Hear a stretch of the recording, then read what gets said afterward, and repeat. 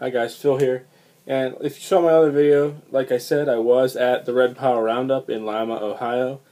Uh, I've been saving my money for a while because I knew I was going to go out there. Uh, but I saved up a lot of money. Well, a decent amount of money, not a lot, but and I bought a bunch of collectibles, memorabilia, brochures, stuff like that. There'll be another video of that. But uh, I also bought a lot of toys. So I knew you guys were looking forward to more videos. I've been I've been saving and waiting. That's why there hasn't been videos out. But uh, let's get started here. This first one here is the Farmall 560 Diesel Ertl Precision Series. This is the uh, older Precision Series, 2004, which you can see on the bottom there. So this is not new, but it's from 2004. And this one I did get used. I did not get this one new. Well, it's in the box, but you can tell it's dirty. Okay, so normal precision box.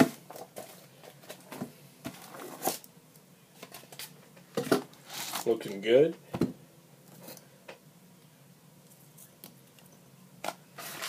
Get this stuff out of the way. First off here, I'm going to start with the booklet. You can see the tractor, it's nice. The booklet here. Maybe not. Oh yeah, here we go. You can see, Precision Series 560 diesel tractor. This is basically like a little uh, sales brochure. Has details there.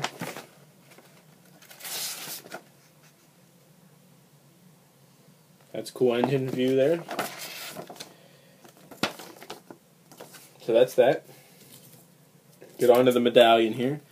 Ertl, Preci Ertl Precision Series on the back there with the uh, caliper and then the 460 there in the middle there. So that's cool. Let's get to the main part, the tractor. Now here you go. Look at this detail here. Let me find a pencil or something to here. This will work to point out some detail here. First of all, you got these hoses here that are, they're not pressed in. They're actually parts on this. So that's cool. You got your uh, sticker here, your 560 logo, Farmall here, and like I said, this is pressed out. I don't know if you guys can see that, but it does stick out. It's not a sticker. The 560 is also like that. When we get to the front here, you have your IH logo and uh, your ribbed grill on the top. You have a little decal here. Oh, there you go, a little decal. Plus a yeah, a metal stack that has been drilled down to look a little hollow there, look like an actual stack. Your air cleaner, which is metal also. Your radiator cap and your gas cap, or your diesel in this case, and your uh, hood ornament. On this side, you got uh, safety decals here, and uh, here's another view of your uh, air cleaner. Uh, just great detail. I'm I'm just amazed by this. You have all your wires and your hoses and stuff. Wheel weights, uh, gray or polished aluminum wheels with your red uh, rims and axle. In the back here, you have your lights and your hydraulic hoses, which are actually hoses. You can see I'm moving them. Hoses. PTO covers good. You have all your um, levers they do move. Sorry about the lights, guys. They do move. Like I said, it's been dirty, so the seat is a little dirty. You got your gauges there. Gauges there. All your levers are good. It looks to detail. I mean, it looks to scale very well. Great detail.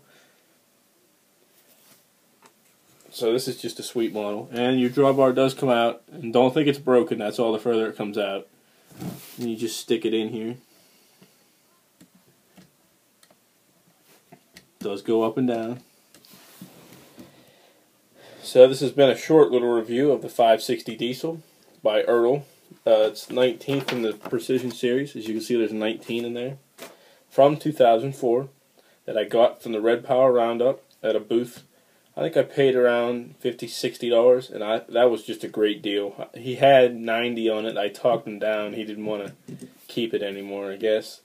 But, uh, so, this is just a great model, and if you have a chance to get it, I seriously recommend it. It's a very nice model.